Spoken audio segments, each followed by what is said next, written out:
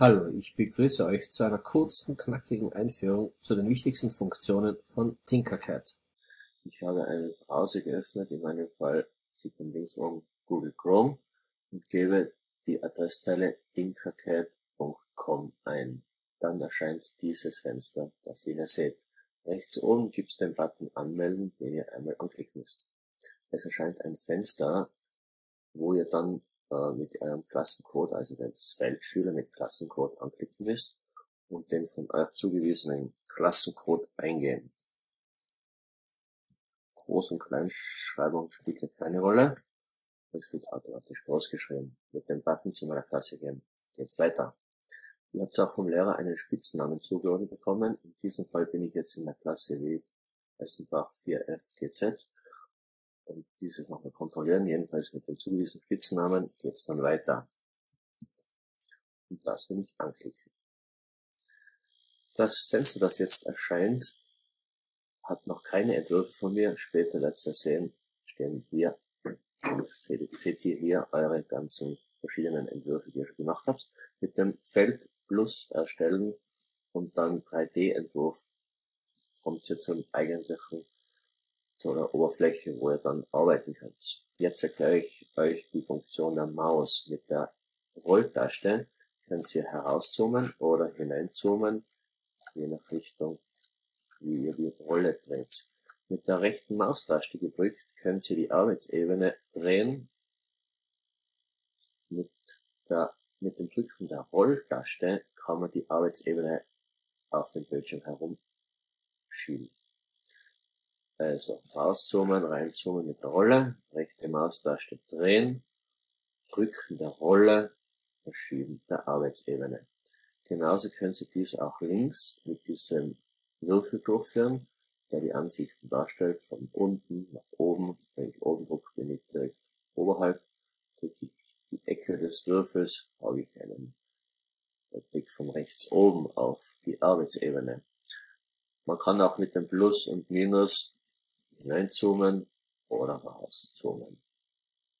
Mit dem Hauszeichen komme ich wieder zur Ausgangsansicht. Ganz wichtig, bevor man eigentlich arbeiten beginnt, sollte man links oben, Daring Snicket steht da, einen gescheiten Namen geben, über zum Beispiel erster Entwurf vorschlagen. Und Enter drücken. Somit wird diese Zeichnung, diese Arbeit dann unter ersten Entwurf abgespeichert automatisch. Ja, und jetzt gehen wir zum Zeichnen. Ich würde auch immer empfehlen, mit dem Lineal rechts oben zu arbeiten, anklicken und irgendwo platzieren. Somit haben wir dann immer die Möglichkeit, wenn mehrere Körper gezeichnet werden, auf diesen Ursprung, auf diesen Nullpunkt hin zurück zu äh, arbeiten. Man kann dieses Lineal auch wegschalten, indem man auf das X drückt und sich es noch holt. Auch das Lineal kann man neu platzieren. Sollte jemand diesen Platz nicht taugen, dann geht das ganz leicht, indem man auf den Ursprung des Lineals drückt. Gut, und jetzt holen wir uns einen Körper. Ich hole mir diesen roten Würfel und setzen genau mit der linken Unterecke auf das Lineal.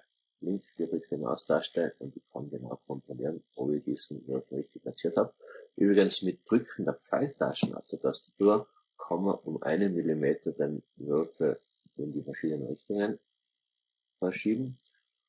Und nach oben geht bei dem Pfeiltast nichts. Da müssen wir mit diesem kleinen Kegel da oben arbeiten. Wenn ich den drücke mit der linken Maustaste, kann ich rechts erkennt man einen Pfeil, der grün hinterlegt ist. 7 mm, 6, 5, 4, 3, 2, 1, wieder auf den Ursprung zurück. Den Würfel verschieben.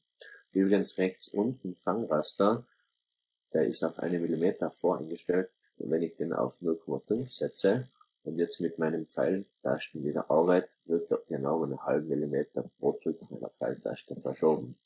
Auch wieder in alle Richtungen möglich, wobei nach oben wiederum mit diesem Kegel auch wiederum jetzt in Schritten von 5 Millimetern, Entschuldigung, 0,5 Millimeter bis möglich und jetzt wieder auf den Ursprung.